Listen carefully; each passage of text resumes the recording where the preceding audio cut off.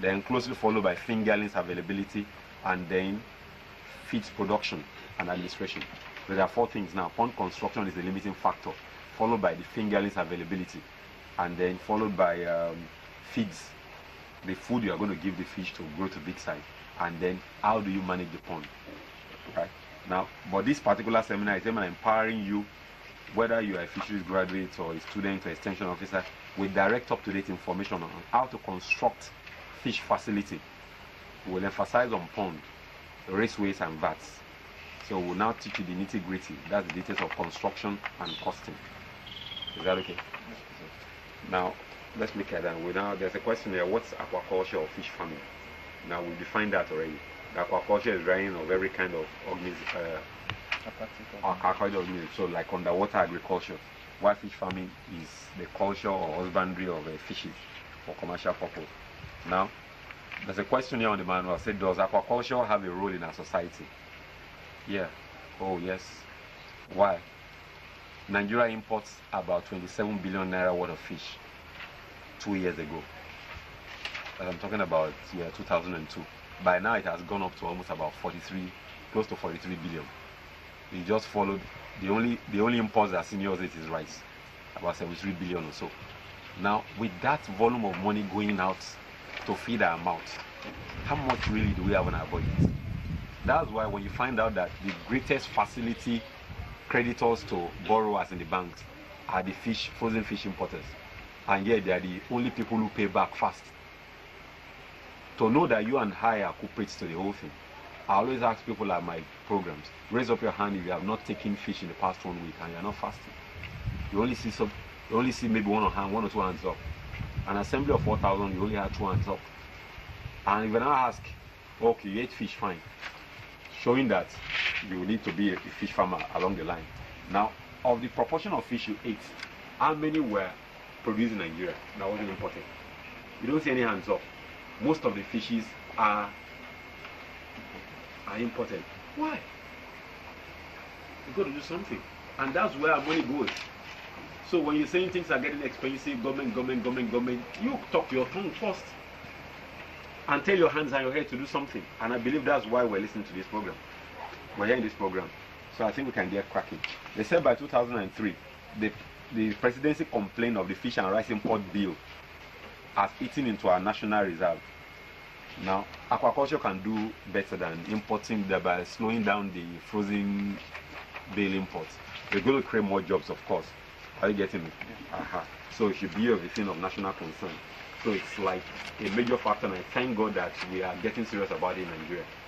There's a data I have with me that says that um, about 30% of aquaculture production in the world is just done by just about seven countries in the world, in the Far East. While 0.1% is only is produced by 34 countries, southern part of Africa.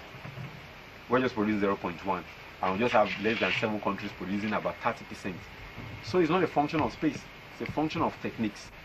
So let's get around to now look at how, what are the principles or the steps that people need to take in this fish farming thing. Are you getting me? Before we now get down to our nitty gritty. That's on page three of the manual. Now, I say fish farming is unique because it's a blend of so many courses, you know, Greek, uh, oceanography, chemistry, business management, law, and the rest. And that's why you find fish farmers cut across every course. In fact, we put an advert in the newspapers a few days ago and we just said fish farm manager wanted. And people asked what's the criteria for what's the criteria for for applying. I say your passion. Whether an MSc degree holder or you're a primary six certificate holder, the passion is what's important. Because it's a thing that has to do with a living thing. And just some basic principles and with your passion and interest, you succeed with it. This has nothing to do with heavy schooling and that's one thing our, our institute have been able to achieve in the lives of people. That even some of the people in the top echelon of the society now, with huge farms, you find it's just the primary six graduates that come from our, our institute that are manning the farms. So let's let's write it. Now I say even though all fish farming ventures have their own special set of challenges, each project must start with a question in mind. Is this going to be a, I'm reading for page three, is this a reasonable business proposition? then if you look at it, we've been able to prove to you that it's a reasonable proposition because it's more profitable than any other agri venture you can think of. Now, if that's the case, then what are the steps or principles that you have to be observed before, before you can get the best of results? What are the principles? So number one, so I listed about 11 principles there or steps you need to take. Are you getting me? Even though this program will itemize on the first four, which is crucial for success in the other ones. But let's just itemize what are the principles or steps you need to take to succeed in this fish farming business. Number one, you have to locate a suitable site for the a suitable site for the business. We'll talk about that in the course of this program. Then two, you have to make a purchase of the space, isn't it? Yes. Purchase or lease the space, and then you have to apply for permit on the site. If there is a space, you have to apply for permit. Then three, you now consult a fish engineer or somebody who has an experience, probably from our setup, or somebody that would influence on any of the fishery school or thereabout, to design a tailor-made facility that's going to work efficiently for you. Because each site is different from the other. So fish farms uh, sites are tailor-made to suit, to maximize productivity for that particular space that we have in mind. Then number four, you now get ahead to build your pond. You build your pond now, or the raceway. Then number five, you install air water pumps and then biofilters as your as your budget permits. Build your raceway. We call it raceway. So either build your raceway or you build a pond. Let's look at what a pond is like. And then these are ponds on that side.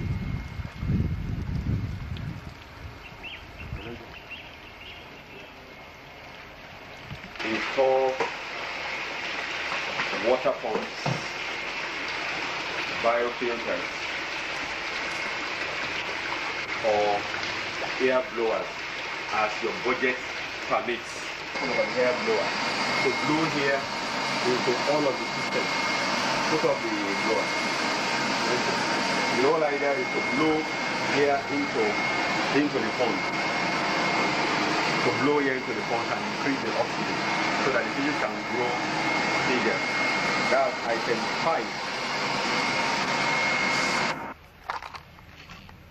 This is a very important step too. Either you know how to produce fingerlings or you must know the art of purchasing fingerlings. Once you get it wrong, you can run into incredible trouble in your fish farming venture. Because you'll be running the wrong, the, because of, so as to save you the cost of nothing the wrong fish. These are, these are, these are fingerlings now, ready to be sold, to grow into one kg size. These are, these are 15, 20 gram fingerlings to grow to 1,000 grams in less than five months. Your broodstock. These are the parent fish mm -hmm. that ends up being used to produce, to develop fingerlings. fingerlings. Then item seven, you now grow and nurse your fish, fish to grow and nurse fish to marketable size with the appropriate feeds. Now, these are feeds now, appropriate feeds pellets. Now, when you're trying to nurse, this is, a, this is nursing a fish to your table side. This is an example of some fishes. They soon come up. I tried to catch the other time too. But it's still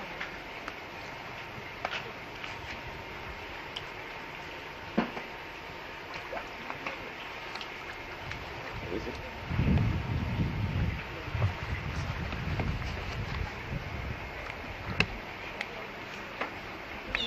Well, these ones are they are not as big as um, the broodstock. Yeah, the broodstock. That's why we said. That's why we just said now. Grow and nurse your fish to marketable size. Right. So these are being done to marketable size. Uh, first of all, you start with crumbles and then to pellets. Give them pellets. Let's get back then. You now monitor your water quality consistently. If you observe that the water here is brownish or dark, while the water indoors is crystal is crystal clear. Then number nine, we say you watch out for health problems. Then ten, you now harvest your fish.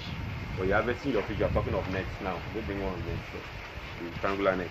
So you harvest the fish, and then you are now selling at the best possible price to customers.